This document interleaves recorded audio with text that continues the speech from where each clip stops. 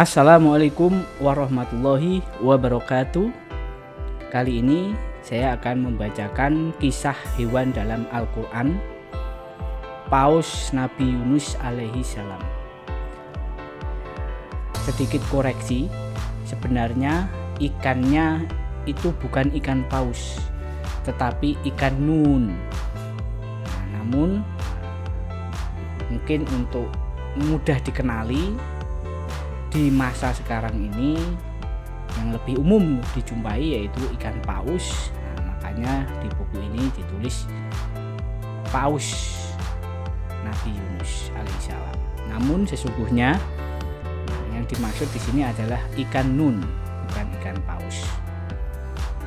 Buku ini diterbitkan oleh Bintang Indonesia Jakarta yang mana isinya diceritakan kembali oleh Sentiani Rimandani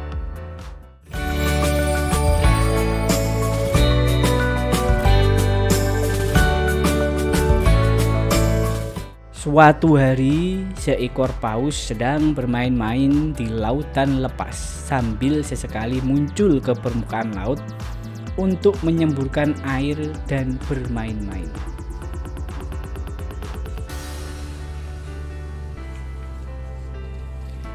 Sementara itu, sebuah perahu besar yang berada tak jauh dari tempat paus tersebut bermain sedang terombang-ambing seperti hendak tenggelam.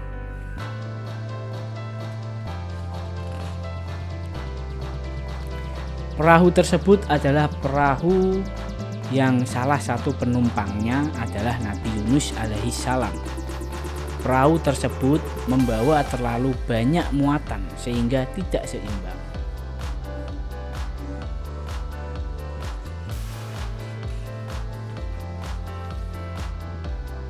Untuk itu perlu dilakukan pengundian untuk mengurangi muatan sehingga siapa nanti yang akan dapat undiannya dia akan diceburkan ke laut untuk mengurangi beban beban dari kapal tersebut.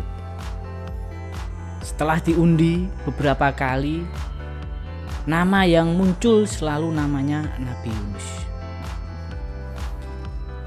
Kemudian Nabi Yunus pun diceburkan ke laut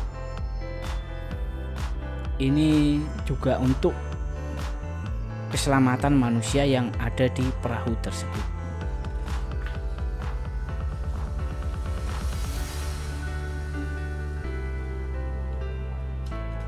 Allah pun memberikan pertolongan kepada Nabi Yunus alaihissalam melalui kehadiran paus tersebut.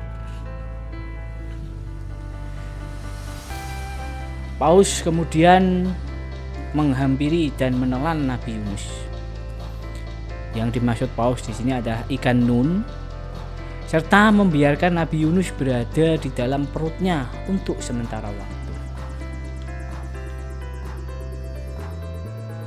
Paus bermaksud menyelamatkan Nabi Yunus alaihissalam sehingga ia tidak memakannya. Selama di dalam perut ikan, Nabi Yunus tetap beribadah. Ia terus-menerus berdoa kepada Allah tanpa henti. Sementara itu, Paus terus berenang menuju ke tepian pantai. Setelah sampai di tepian pantai, di daratan, Paus memuntahkan Nabi Yunus dari perutnya. Ternyata Nabi Yunus terdampar di sebuah pulau tandus. Di sana Allah Subhanahu wa taala menolongnya dengan sebuah pohon untuk Nabi Yunus berteduh. Allah juga memberikan kekuatan kepada Nabi Yunus alaihissalam sehingga sehat kembali dan siap untuk melaksanakan tugasnya sebagai Nabi Allah. Demikian kisah tentang ikan nun atau dalam buku ini disebut ikan paus yang menyelamatkan Nabi Yunus menelan Nabi Yunus dan menyimpannya di dalam perutnya untuk beberapa waktu. Namun demikian Nabi Yunus tetap beribadah kepada Allah dalam kondisi apa pun. Seperti itu, semoga bisa diambil hikmahnya untuk kita semua. Assalamualaikum warahmatullahi wabarakatuh.